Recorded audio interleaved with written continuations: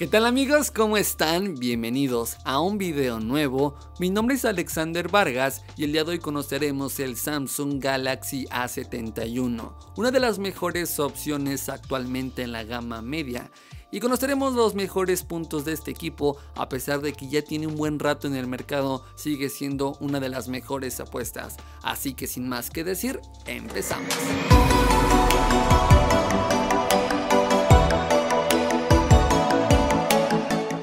Primer punto y de verdad que me ha gustado mucho es el diseño. Contamos con materiales de construcción en cristal, junto con un tono en azul que se degrada en arcoiris bastante bonito.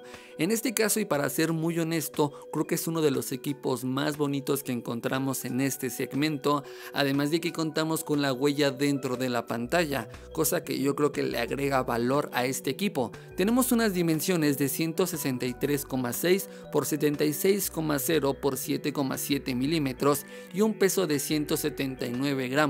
Como ven, estamos ante un equipo bastante bien llevado y yo creo que si de diseño se trata, está muy bien. El siguiente punto y de verdad también muy importante hoy en día en este tipo de teléfonos es el rendimiento. Contamos con el procesador Snapdragon 730 octa-core con 6 GB de memoria RAM y 128 GB de memoria interna por lo que este procesador funciona bastante bien para juegos y aplicaciones. No tendrás ningún problema incluso con juegos pesados y aplicaciones de día a día. El siguiente punto y de verdad muy importante la batería. Contamos con 4500 mAh y carga rápida de 25 watts. Por esta parte la verdad es que se desenvuelve bastante bien. Al final del día tendrás un 15 o 20% si eres un usuario exigente. El siguiente punto y en este caso donde más se le da valor a un smartphone son las cámaras. En este caso encontramos una configuración de 4 sensores. El principal es de 64 megapíxeles con una apertura de 1.8. El segundo lente es de 5 megapíxeles con una apertura de 2.4 para el modo macro.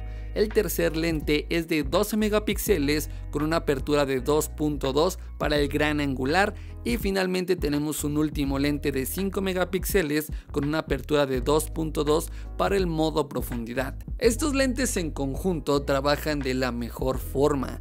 La verdad es que por el nivel de detalle, exposición, contraste está muy bien.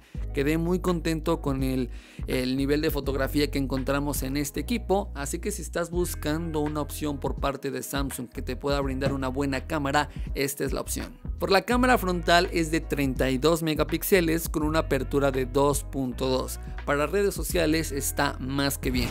Y bien, estos fueron los mejores puntos del Samsung Galaxy A71 y pasemos con el precio, que es de nada más y nada menos que de 9.398 pesos mexicanos un costo de verdad un poco alto por las características que nos ofrece. Creo que en el mercado hay otras opciones por este rango de precios y con mejores specs. Pero pues nada, yo sé que va a haber alguna persona que le pueda encantar este equipo. La verdad es que se defiende bastante bien en todo su segmento. Así que pues nada amigos, muchísimas gracias por ver este video. No olviden seguirnos en todas nuestras redes sociales donde les estaremos complementando nuestra experiencia. Esto ha sido todo por mi parte. Muchísimas gracias.